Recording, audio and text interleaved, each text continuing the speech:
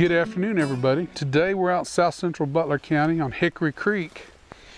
We've got a stone arch bridge there. It's been refixed a little bit on the buttresses on the bottom end, but these are still getting harder and harder to come by even here in Kansas. But there's still some left around. You kind of got to hunt them out and find them.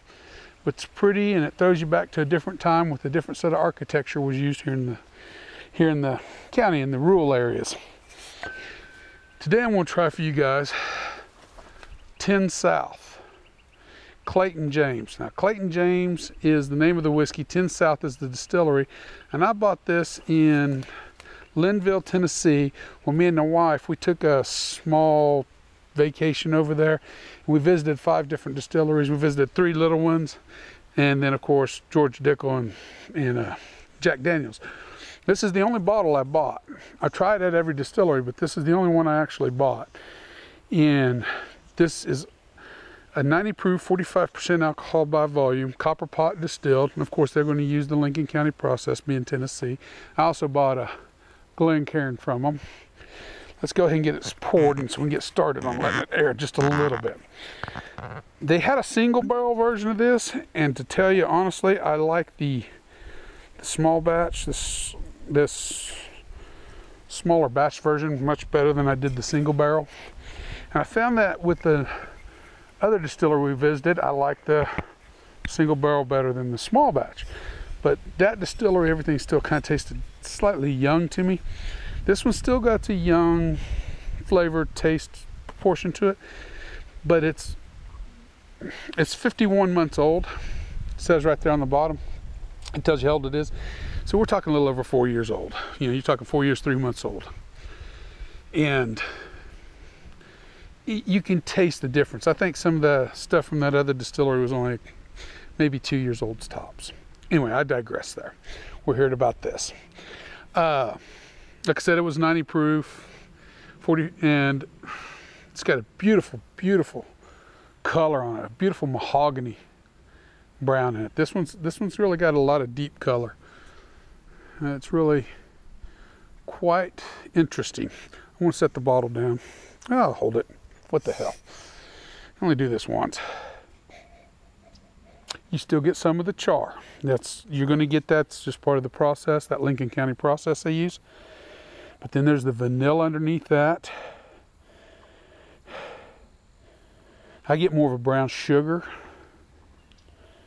almost a molasses brown sugar on it. Because that's how molasses is made. They use, uh, I mean, brown sugar is made. It's a mixture of molasses, if I recall correctly, that's put into the sugar in the crystallization process. And I may be wrong about that, but if I remember correctly, that's what I see. Seems like my grandmother told me that.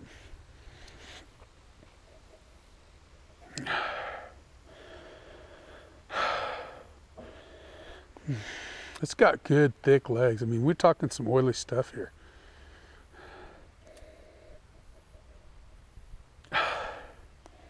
It's got a slight floral character to it. But it's not a flowery floral. We're talking spice floral there we're coming in. Cardamom like.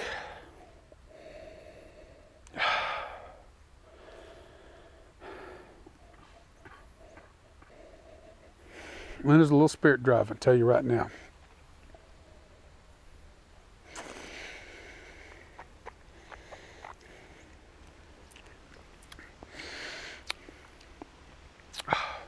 Again, brown sugar,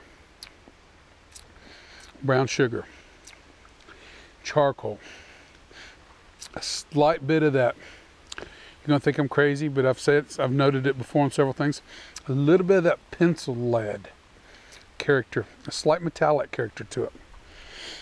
The cardamom finishes with that that floral spice, similar to cardamom. And there's a little clove in there that's coming through now. Good on the palate. And it's even better on the finish. That's why I kind of like this one.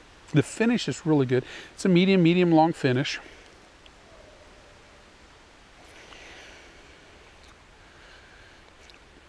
We're getting the charcoal. It's unavoidable. And the charcoal don't mind me as long as it's somewhat restrained and it's not dominating the spirit. There is a pleasant sweetness to this that and there's the vanilla. The, the nose and the palate really kind of follow each other in the sweet vanilla uh, brown sugar line, the way it follows there. But there's a slight minerally note to it, and it's not bad. It's it accentuates the experience. Mm. That's why I bought it. This one was really good. I was, I think, I'm to say I paid between 40 and 50 bucks for it, but don't quote me on that. You got to remember it's a startup distillery, it's small, so they're going to be a little higher price than what you normally see. But to me, it was a, I felt it was worth value because I got to taste it at the distillery and it really, it clicked all my boxes and it still does. I enjoyed the stuff. I don't know how easy or hard it is to get out on the open market, so good luck. I know it's probably available in Tennessee, but other markets I can't speak to that. But I really like it. Clayton James, Tennessee Whiskey by Tenn South Distillery. Lynnville, Tennessee. You can do a whole lot worse. Copper pot distilled. I'm enjoying it, enjoying it. I'm going to give it an 89 out of 100 and it's probably not going to score that high for a lot of other people. I'm not going to lie. But in my case, it clicks those boxes I enjoy. And I think I scored that high because it being a craft distiller and producing such a good spirit. I think it needs to, it, it finds a special place in what I, what I view and see it as. I was going to add water to it. I'm not going to do that. It doesn't need water. So 89 out of 100. Again, it's enjoyable. Remember, the spirit in your glass isn't running from you. Take your time, enjoy it. You'll be better for it, as will we all. Another view of the bridge and the creek, and I hope you get to enjoy it. I hope that camera's set well enough for it. It's beautiful fall day. The leaves are starting to change. You can see the tree back there. It's just, it's a wonderful, wonderful day to be out and about. Everyone, have a good afternoon.